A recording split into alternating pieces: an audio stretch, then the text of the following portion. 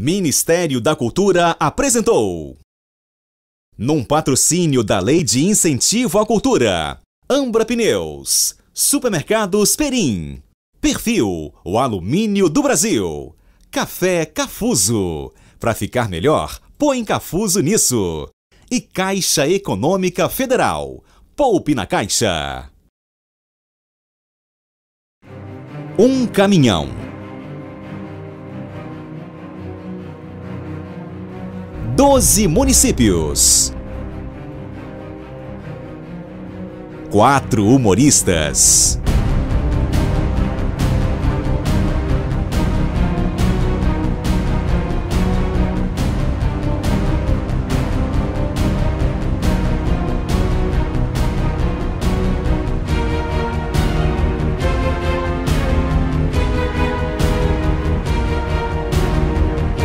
Mais de 3 mil quilômetros. E quantos sorrisos? Estes foram impossíveis de contar. Em cada escola, as oficinas deixaram marcas nos alunos. Eu acho uma iniciativa muito boa do projeto deles, trazendo humor para as escolas, que muitas vezes faltam. Muitas vezes alunos chegam na escola desmotivados, com depressivos, todos com vários problemas.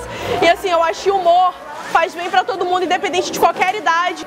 Isso aqui nunca teve, nunca aconteceu aqui. E gostei muito desse projeto, mostrou bastante a ter senso de humor. E eu acho que esse projeto de vocês são essenciais, que possam rodar todo o mundo, porque eu adorei e eu quero levar hoje, é, desse dia especial, para a minha vida toda. E também transformaram a maneira de ensinar dos professores. Foi muito bacana a apresentação de vocês, valeu muito a pena. É muito bacana juntar o humor e ao mesmo tempo um puxãozinho de orelha no sentido dos sentimentos, no sentido do dia a dia. A nossa escola tem um foco que é trabalhar projeto de vida, trabalhar um sonho.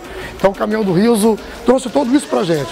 Com essas quatro oficinas, o dia começou e terminou, todos os alunos ficaram focados o tempo todo. Juntar o riso com a motivação, assim, foi para mim foi primordial. Achei interessantíssimo o projeto, gostei muito. Eu, enquanto professora de arte, então, né, fiquei apaixonada. Foi um caminhão de aprendizagens vinda dentro de um caminhão de risos, dentro de um caminhão de alegrias, dentro de um caminhão de aprendizagens.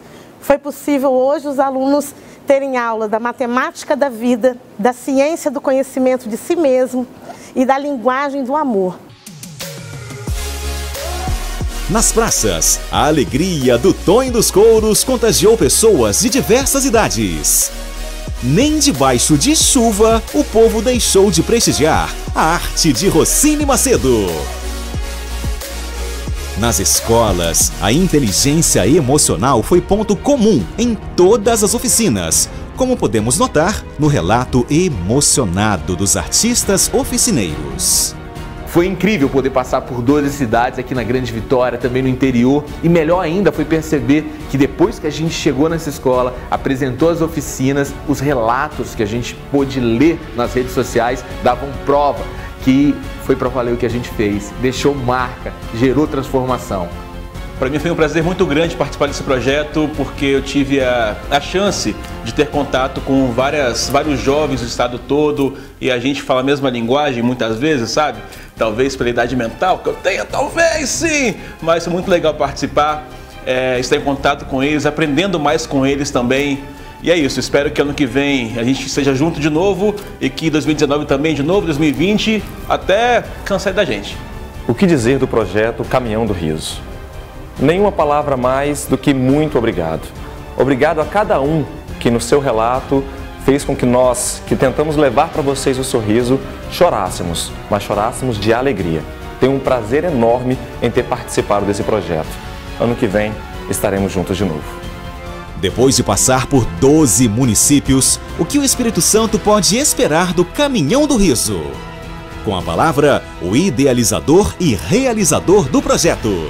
Muito feliz em ver o projeto Caminhão do Riso, que é uma extensão do Vitória do Riso Festival, ter conseguido andar por 12 municípios do Espírito Santo. O nosso planejamento é que em 2018 a gente consiga ainda ir mais longe.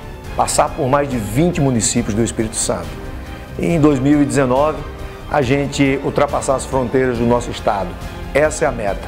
Caminhão do Riso transformando vidas através do sorriso. Será que os estudantes gostaram dessa notícia?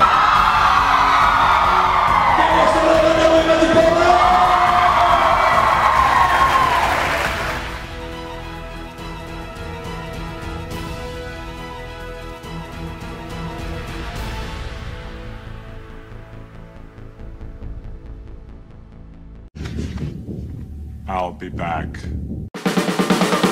O Natal Sorridário na Praça dos Namorados, em Vitória, também fez as pessoas que queriam rir levar um brinquedo para fazer uma criança carente também sorrir.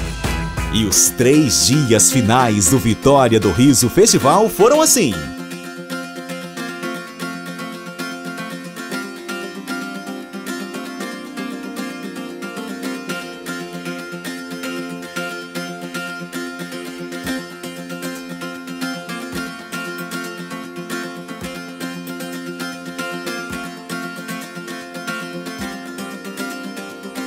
Agradecemos às empresas Ambra Pneus, Supermercados Perim, Perfil, o Alumínio do Brasil, Café Cafuso e Caixa Econômica Federal por apoiarem esse projeto que transforma vidas através do sorriso.